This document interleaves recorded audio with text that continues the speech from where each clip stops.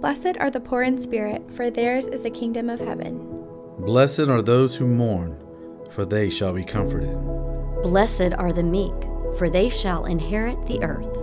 Blessed are those who hunger and thirst for righteousness, for they shall be satisfied.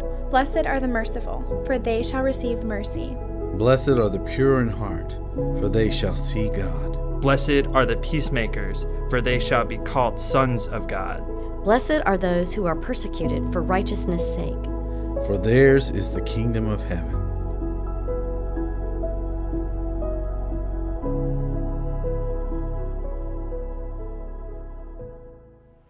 If you've got your Bible with you this morning, I want to encourage you to go ahead and grab that out if you would. If you don't have one, there's one underneath the chair right there in front of you. We're in the middle of a sermon series called Start Here. So it's this idea of maybe if you're new to Christ or even if you've Him for a long time, think, how could I be more Christ like? What do I need to change in my life to keep growing as a believer? Well, this passage, what we're looking at today, is a part of that sermon series. It says, Start here. It's the idea of the Beatitudes. So we're in the book of Matthew. It's Matthew chapter 5. So go ahead and open that up and hold that right there. Well, this week, if you've got a kid or if you know a kid, then somehow you probably experienced graduation on some level. So if you didn't know this, graduation is pretty much for every grade, right? There's like a two year old graduation, a preschool graduation, you got kinder school, you got fifth grade, eighth grade, high school, in college. So if you've got a kid somewhere in that boat, you're probably close to a graduation.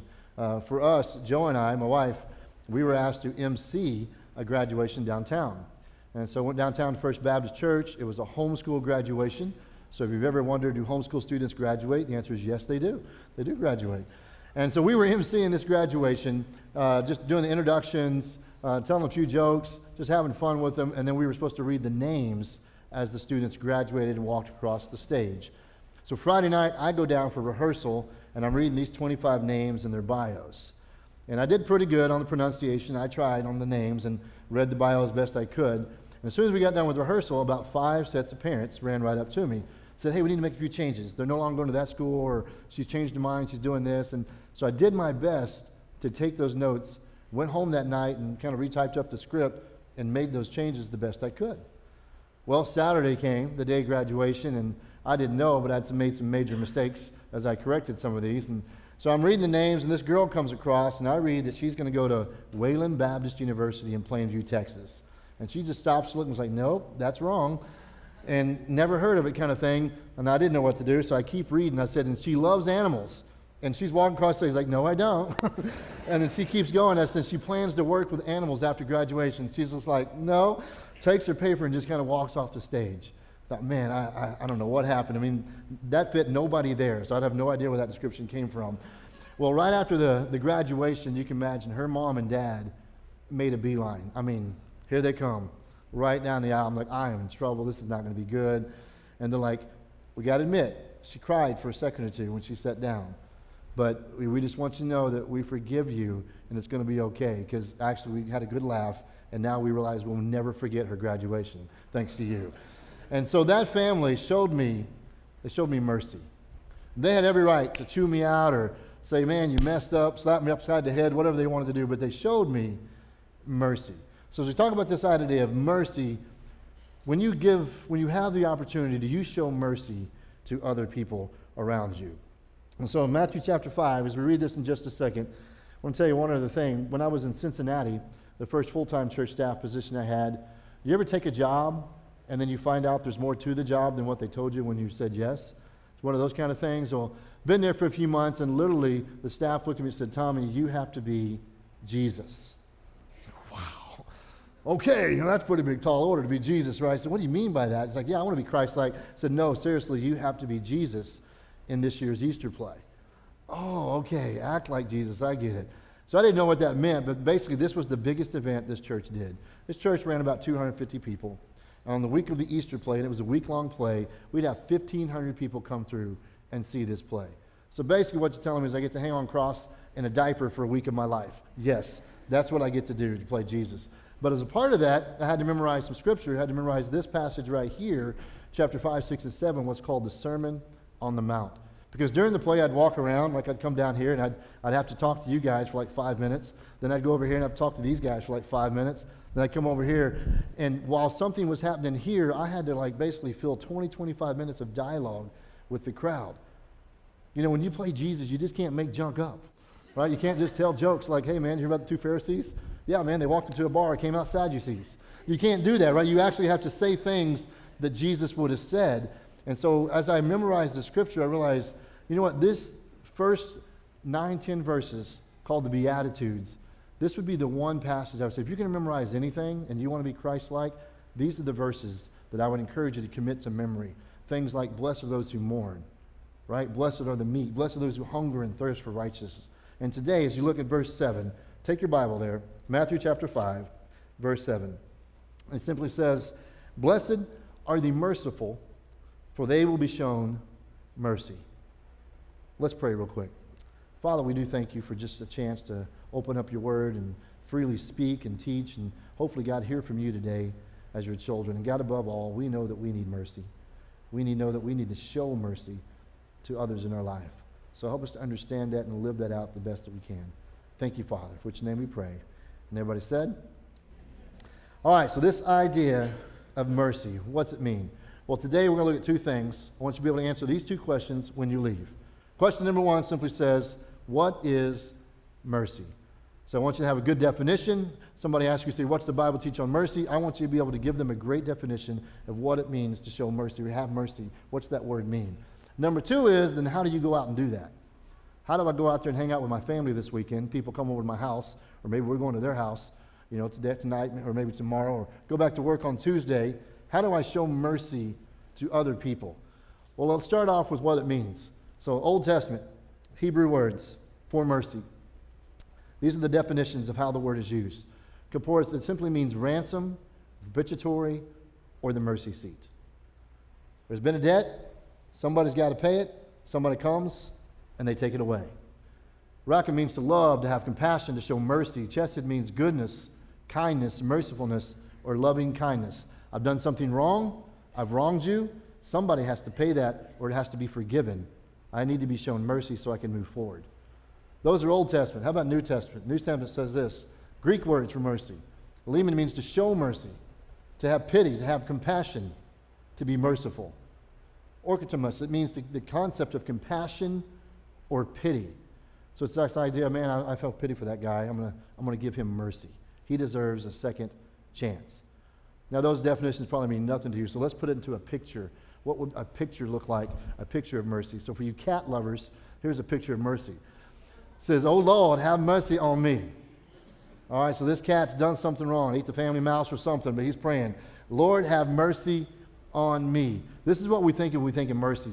We've done something wrong, we're begging to our parents, we're begging to our boss, saying, Give me another chance, have mercy on me. Well, speaking of having no mercy, birds have no mercy. Pigeons have none. That poor kid, that's just a bad day, isn't it? I don't know if y'all can see, but that bird's doing his business on that little boy. That's not right. Mercy, pigeons have none. The picture that comes to my mind, though, about mercy is this picture. Are there any men in the room? Come on, fellas. Gladiator. This is as good as it gets for me right here, right? Picture of mercy. This is Maximus from the movie Gladiator. Maximus was the general of the armies, right? The new emperor, the, the bad guy takes over, tries to kill him. He's sold as a slave, ends up as a gladiator. Now he's fighting his way back up the food chain. And in this particular scene, he has just defeated the champion of champions of gladiators. The guy is wounded, laying at his feet. He's got his blade. He's waiting. Do I chop his head off or do I let him live? Well, if you've seen the movie, then you know the emperor does this thing right here. What does that mean? Live. What does that mean? That means chop his head off. That means take him out. Show no mercy. Well, if you know the movie, the emperor actually says, What? Kill him. But Maximus says, No, I'm going to let him live. And he's known as Maximus the Merciful. So, what about you? Are you merciful or are you more like judgment? So, as we talk about mercy, here's our definition for the word mercy so, just as a little reminder for my sake, mercy. So, mercy is not getting the punishment you deserve. Read that with me. It says, Mercy is not getting the punishment you deserve. You got to read a little louder, please. Mercy is not getting the punishment you deserve. All right, good. What's the other side then of mercy? What'll be the other side? Justice, right? Judgment. So on the other side here of the coin, or other side of the stage, if you will, we have this idea of what's called justice. And somewhere between these guys, you live. I don't know if you knew that or not, but you live somewhere between these two characteristics. And the person next to you, go ahead and tell them are they more merciful or are they more like judgment? Go ahead and tell them. It's okay. Which one are they like? Which one are you like? Are you like closer to mercy or do you like closer to, man, if somebody owes me something, they're going to pay it back or I'm going to hurt them or I'm not forgiving anyone? I'm always going to show judgment. Now, when Jesus said this thing on the hillside, when he said, Everybody sit down, the crowds came to him, began to teach him, saying, Blessed are those, he said, Blessed are the merciful. You got to realize this is where everybody's sitting. They're sitting right here. They live in a world of justice. That gladiator, that's Roman times. That's when Jesus was here. A Roman soldier, if he showed mercy, that was a sign of weakness. You don't show mercy to people. If you're a business owner at that day, someone's wronged you, you don't show mercy. They lived right here with justice. This is where they lived. And for Jesus to stand up on that hillside and say, Blessed are the merciful, for they will be shown mercy, that didn't make any sense because this is where they lived. So, where do you live with this idea of mercy or justice? Justice is getting the punishment you deserve. So, mercy is not getting it, justice is getting it, and you're on one of these two scales. And Jesus is saying today, I want to challenge you to think about if this is where you live, I'd like to see you come over here and be a little bit more merciful in your life. I want to tell you three stories. One's from the Old Testament, one's from the New Testament, and one's from my life.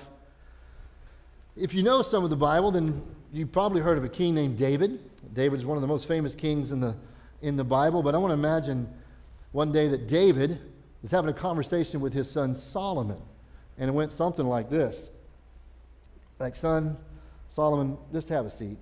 I want to talk to you for a second. Just, just sit down. No, I'm not going to tell you how I killed Goliath again, but I will if you want me to. No, I'm not going to do it. Listen, just, just sit down. I need to talk to you about something that's important It's on my heart. I want to talk to you about this idea of mercy and what it's meant to me, and someday you could be the king. And son, I just want you to know this is important. So if you'll just hear me out, I just need to get this off my chest. You remember Grandpa, right? Grandpa Jesse? You remember Jesse? Well, uh, when the prophet came to our house, I was just a kid, and I don't know if I told you this, but he chose me to be king when I was just a little boy.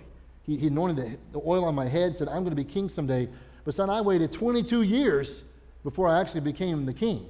Had to wait 22 years for that promise to come true. And well, during that time, you, I told you something about King Saul. And, you know, King Saul was a wicked man. He, he did some good, but in the end, he, he'd really lost his mind. And honest son, he tried to kill. He was trying to kill me for years. And he would chase me, and I would hide, and my men would defeat and defend me, and then he'd chase us again. And, well, son, I want you to know twice, two times, I had the chance to kill Saul. Two times. My men were there, they had their weapons, we could have killed him. It would have been easy, we could have snuck away, but two times we had a chance to kill the king. But man, something inside just said, I cannot touch the Lord's anointed. I need to show mercy to this man. Even if he doesn't deserve it, I need to show him mercy.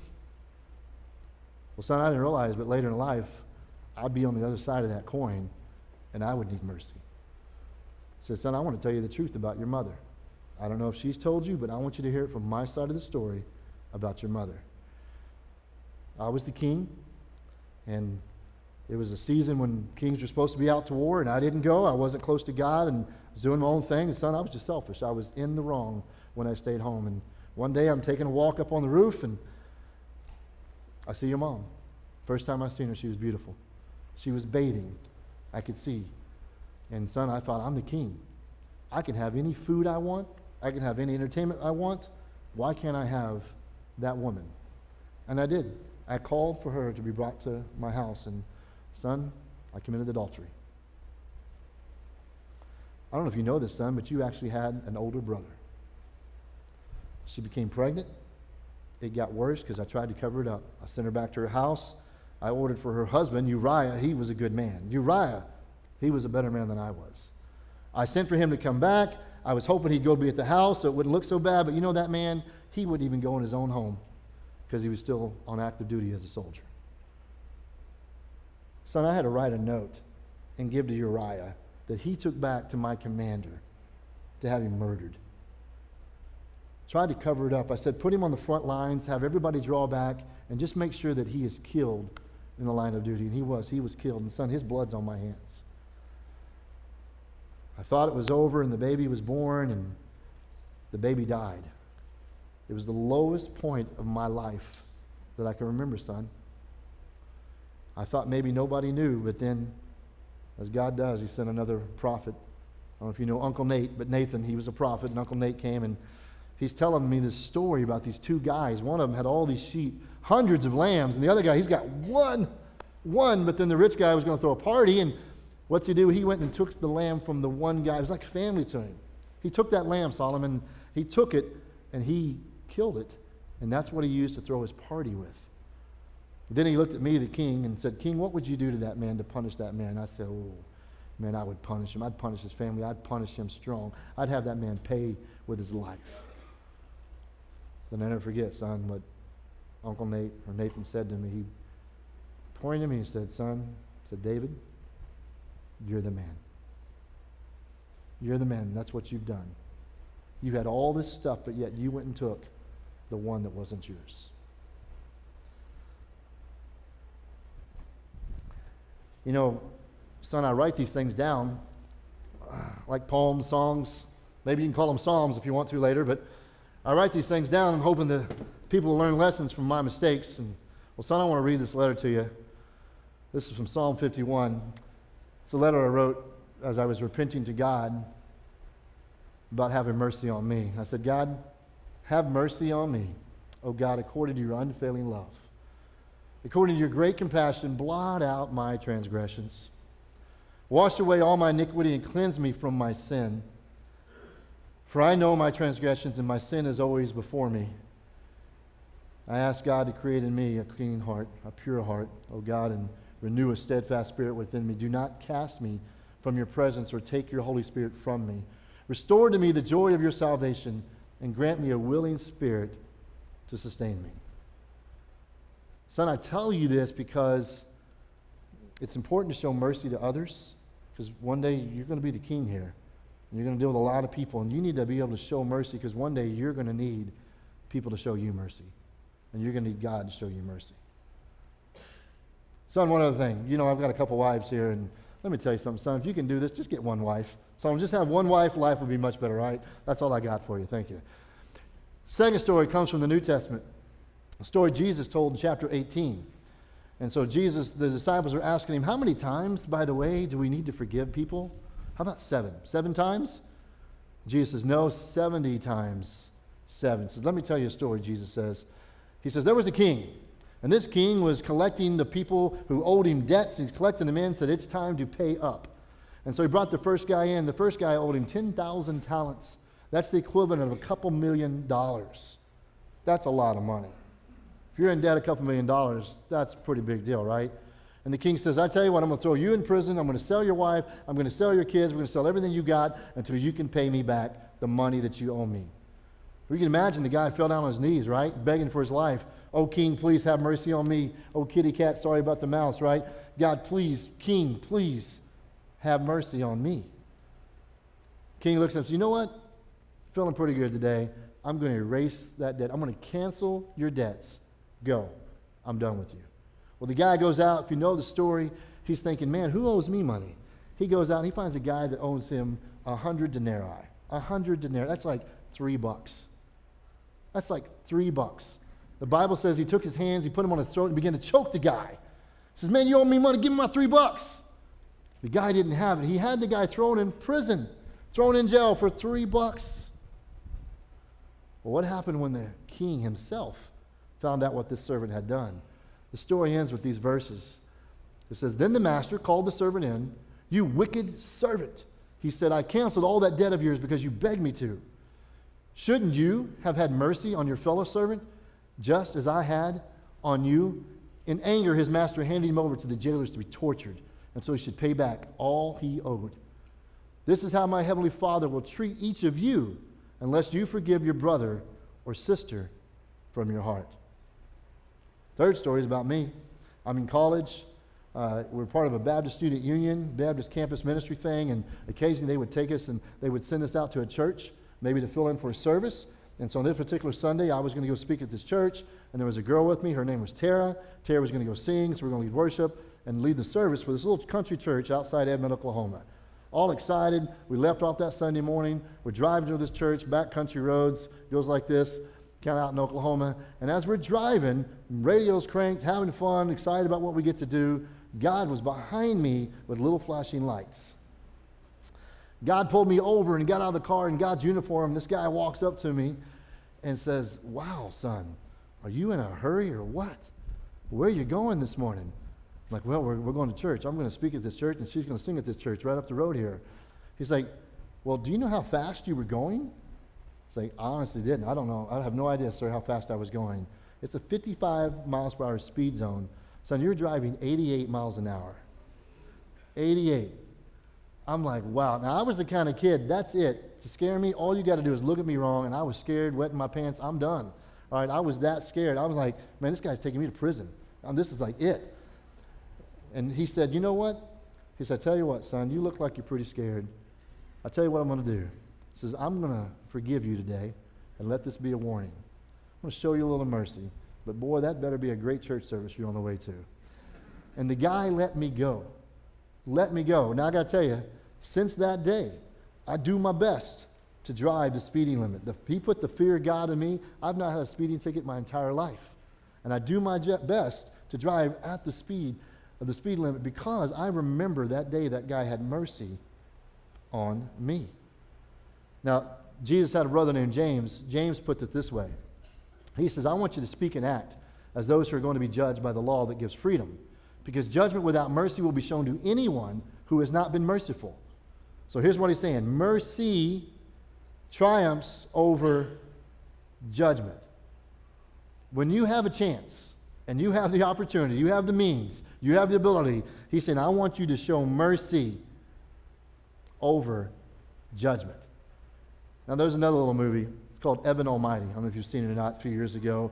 It's a little spoof off Noah's Ark, and it's kind of a goofy movie, but I love it. It's a great family movie. It's not true, but it's based on the story of Noah.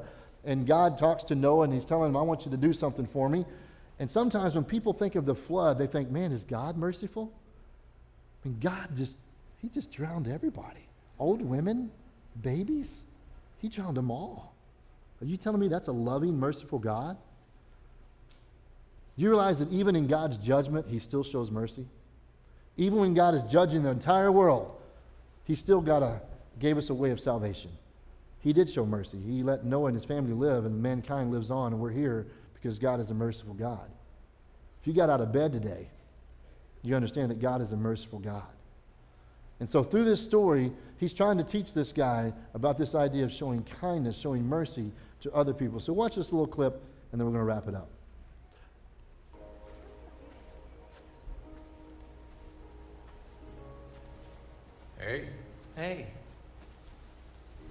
What are you doing here? Just hanging out with some old friends. You knew all along, didn't you? You knew the dam was unstable. If it hadn't been for the ark, my family, the neighbors, I fought you every step of the way. Yes, but you did it. So you had nothing to do with the flood? Like where the ark landed exactly? I gave you a little shove at the end. Sue me. You did good, son. You changed the world. No, no, I didn't. Well, let's see. Spending time with your family, making them very happy. Gave that dog a home. Right, so? So, how do we change the world? One act of random kindness at a time. One act of random kindness. Wow.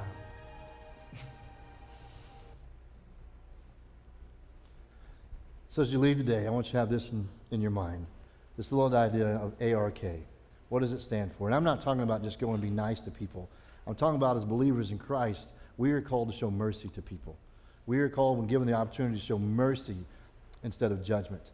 And so the answer to what is mercy? Mercy is not getting the punishment you deserve.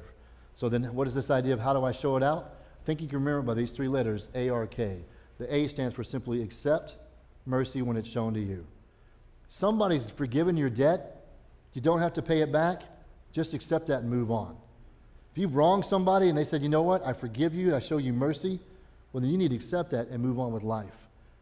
And when you do that, the second one here with the R, then you are more likely to remember that mercy that you've been shown. I remember the police officer. I, don't have, I have no recollection of even the church or the service or anything that happened at that church. I don't even remember where we went. Past that point with the police officer, all I remember is this guy showing me mercy. And I carry that with me today because I remember the mercy that he has shown me. See, when we remember mercy that other people have shown us, we are more likely to choose mercy for other people as well. And so the last one here, James tells us, I want you to keep mercy over judgment. That's it. When you get a chance to choose, if you can do either or, I want you to keep mercy over judgment. Anybody can be the judge, anybody can pass out judgment, but not everybody can show mercy. It takes a believer in Christ who's understood what mercy means to say, you know what? I am going to show mercy in this situation. Let's pray together. Father, we do thank you for time this morning just to come and open your word. I'm thinking, God, when you're on that hillside and you say things like, Blessed are those who are merciful, who show mercy. Lord, what is that about? Because they lived in a world of justice. Father, for a lot of us, that's the world we live in. We're not used to not having people pay us back or not forgiving people for what they've done or giving them a second chance. But God, the truth is, you want us to be people of mercy. You want us to show mercy when we have the opportunity. So, Father, I'm thankful, God, that you, you are the judge, and there's going to come a day where every knee will bow, every tongue confess. Lord, you don't let everything slide. You are the final judge. You are justice. But God, you also are a God of mercy. And the fact that we get out of bed tells us that your mercies are new every morning. So, Father, we are thankful for the mercy that you've shown us when Jesus Christ died on that cross, but when he took our punishment. And God, when we make mistakes, that you still show us mercy. Now, Father, I pray that we will go forth and live that out the best that we can. So we give you thanks in advance. We just want to say that we love you and we want to live for you alone. Thank you, Jesus. Amen.